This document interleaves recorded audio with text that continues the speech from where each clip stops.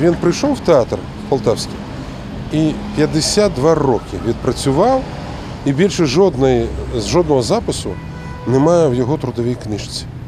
Все життя він любив Полтавський театр. Олексій Андрієнко познайомився із Юрієм Поповим у 1970-му. Каже, для обласного театру смерть актора стала великою втратою. Це була наша гордість. Знаєте, коли його не стало, е, декілька вистав довелося зняти з репертуару, тому що немає йому заміни. Хоча говорять, що немає на заміни. Є такі, як Попов. Нема. Поки що немає йому заміни. Меморіальну дошку встановили на будинку, де проживав народний артист. Його дружина Валентина говорить, пан Юрій був не лише талановитим актором. Юрій Васильович був дуже гарним чоловіком, хорошим батьком, хорошим дедушкой. Он хозяйственный очень был, любил семью свою. Но больше всего, мне кажется, на первом месте у него стоял театр. Коли мати тебе народжувала, пішов не дощ, а злива, наче небо прорвало. Я боявся, що вона захлинеться не від крику, а від води.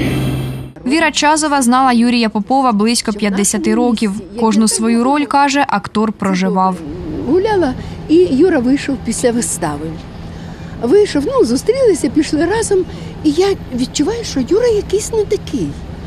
Я говорю, що Юрочка, ти себе погано почуваєш, чи щось там трапилось. Він каже: я, Віра Олександрівна, я ще не вийшов, я ще там, я ще в тому селі, в тій кайдашевій сім'ї. Як кажуть, такі люди з'являються раз на тисячу років. Він був дуже великим фахівець своєї справи. Кожну роль, яку він втілював, він переживав, втілював на сцені і цим, звичайно, захоплював глядачів. Знаєш, що скажеш, не ремствуй, бо шлях кожного записаний в книзі його долі. Все це так. Але важливо, на якій ти сторінці в цій книзі.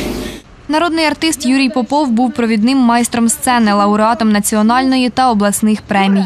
Помер влітку 2015-го. Цьогоріч, 13 листопада, йому виповнилося б 78. Лілія Пархоменко та Микола Янко. Полтавські телевізійні новини.